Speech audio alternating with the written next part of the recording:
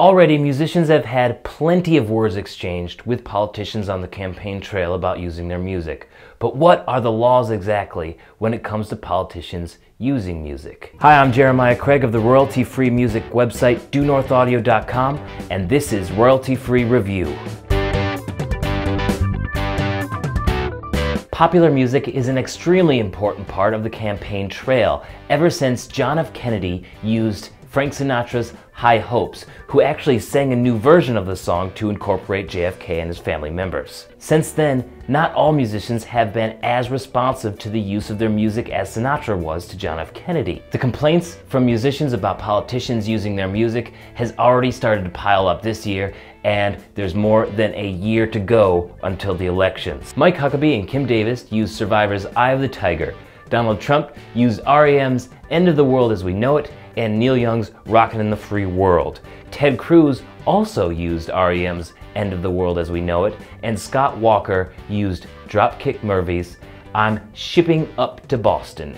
Every election, you can be sure to see one or more musicians exchanging words with politicians, asking them to stop using their music. Few of these cases ever go past a cease and desist letter though, since copyright law is sort of unclear about the use of music on the campaign trail. But usually, when an artist asks a politician to stop using their music, they usually do, probably so they don't get more negative attention.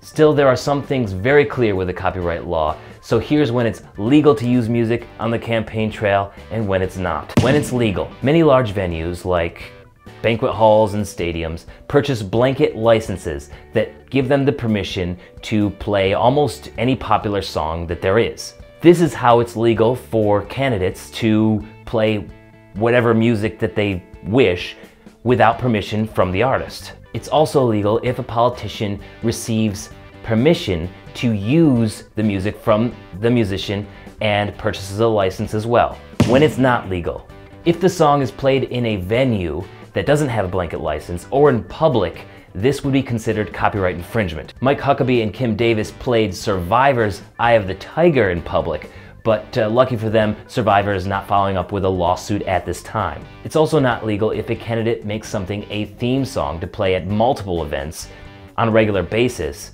without permission from the artist. Music will continue to play a huge role in future campaigns, but it looks like some politicians may be taking steps to avoid these issues in the future, but really the only way to completely avoid the issue is to make sure that the politician has permission to use the music from the artist and their publishing company. Or they could use royalty-free music. Thanks for watching Royalty Free Review. I'll see you next time.